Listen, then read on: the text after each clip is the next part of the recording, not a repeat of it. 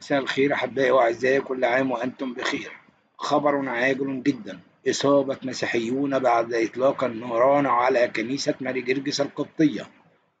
أصيب مسيحيون بإطلاق نار على كنيسة قبطية في أم درمان فيما تبادل طرف النزاع في السودان الاتهامات بالمسؤولية عن هذا الاعتداء.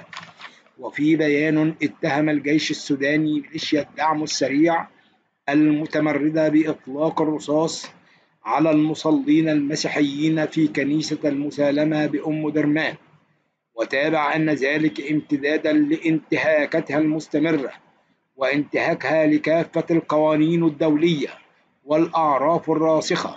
في المقابل أفادت قوات الدعم السريع في بيان نشرته على موقع تويتر بأن جماعة إرهابية متطرفة تابعة للقوات الإنقلابية أطلقت النيران على كنيسة ماري جرجس بحي المسالمة بأم درمان ما تسبب في وقوع إصابات خطيرة وسط المصلين.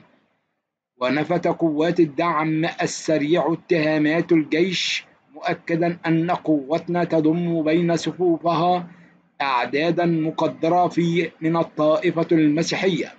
وتتابع الكنيسة القبطية بالسودان تطورات الأزمة وحذرت من أتباعها من التواجد في مناطق النزاع وكانت الكنيسة أوقفت كافة القداسات بالكنائس منذ بداية الحرب قبل عيد القيامة المجيد. كل الشكر وكل الحب وكل التقدير لأحبائنا وأعزائنا.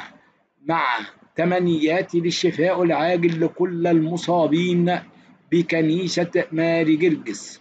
الله المستعان الله الموفق.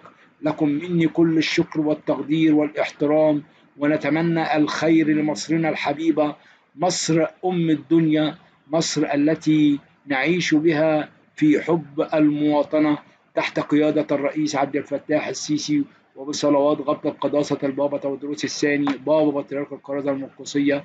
ولا تنسوا اشتراككم في قناة الملك والأمين. مع شكري واعتزازي. وسلام. الرب يكون معكم. آمين.